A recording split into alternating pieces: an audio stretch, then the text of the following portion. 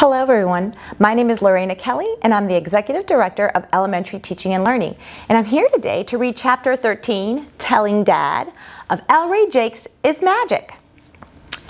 Telling Dad that I decided I wanted to drop out of Oak Glen's talent show is going to be hard. He and my mom are probably still celebrating because they're so amazed I got in. They like to hang out in the family room after dinner, even though they don't watch much TV. In fact, they do different things. Usually, dad reads a lot of, because college uh, geology professors have lots of stuff to wade through, as he puts it. Mom likes to watch TV shows and movies on her tablet, but she wears earbuds so the noise won't bother my dad. At least they're together in the same room.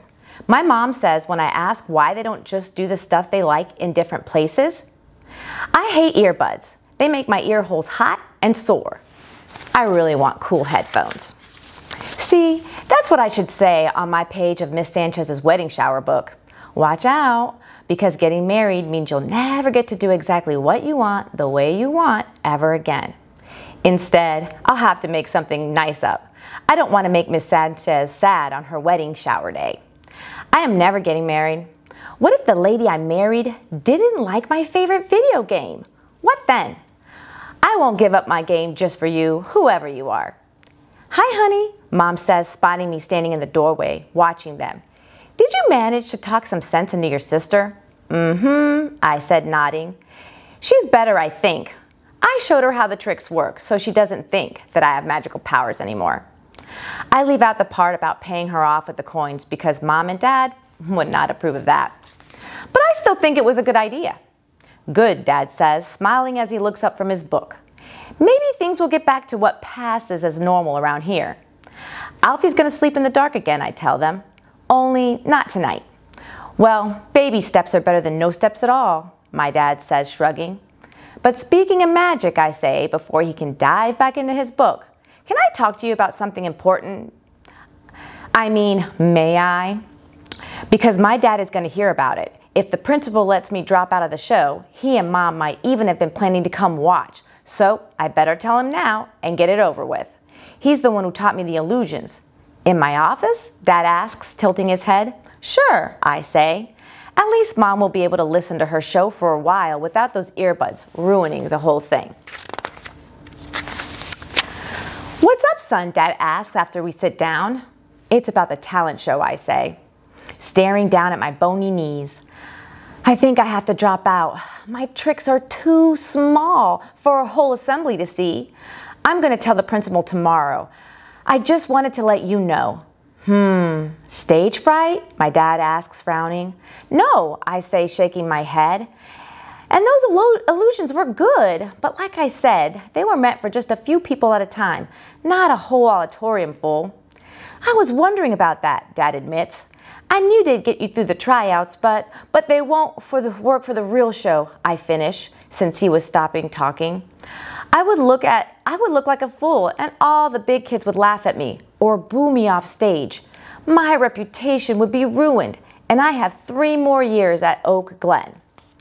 You're exaggerating, Dad says, using the calm, reasonable voice that usually means I've already lost the argument. I'm not exaggerating, I tell him. It would be like, like I was some weirdo meteorite from outer space that didn't fit in. I say this trying to explain in a way he can understand. You know, I add, when all the other kids were normal Earth rocks and I just barely fit in now. Wait, what? You feel like you don't fit in at Oak Glen? My dad asks, a concerned look on his face. There's a new sharp note in his voice. He thinks I'm talking about being one of the few kids with brown skin at my school. He can get real touchy about stuff like that. This is exactly the kind of thing he worries about. We're going way past magic tricks here. I have to get us back on track and fast. I fit in okay, I assure him, but I won't if I'm forced to make a fool out of myself. So why did they ask you to be in the show? Dad asks, frowning. That's what I can't figure out, I say, the words almost falling out of my mouth.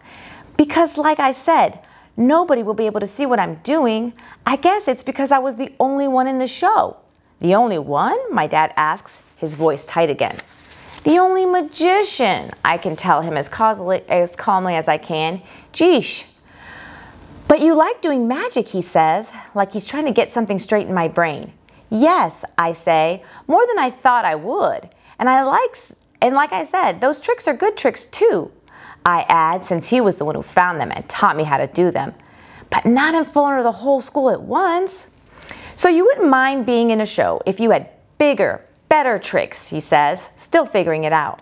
But I don't, I say, and the show is this Friday afternoon. Want me to talk to the principal for you? Dad asks. Explain things?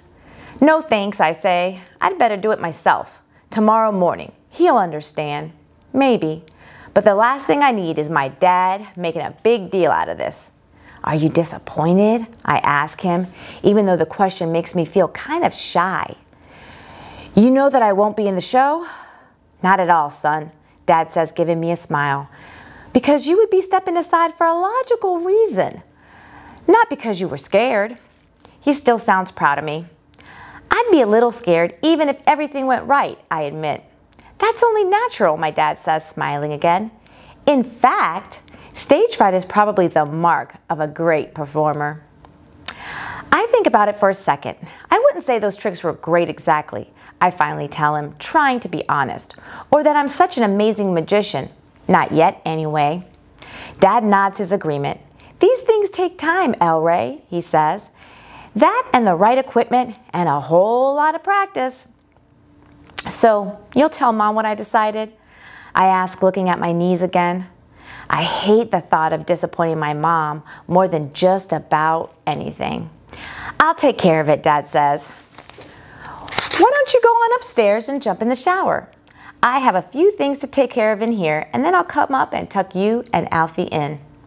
But don't say anything to Alfie about leaving the lights on, I remind him, because I think she needs at least one more night before she backs down. Got it, my dad says with one quick nod. See, I do listen to you, son. Now scoot, and I scoot. I can't wait to hear what happens in the next chapter of EllRay Jakes' Magic. Thank you for listening.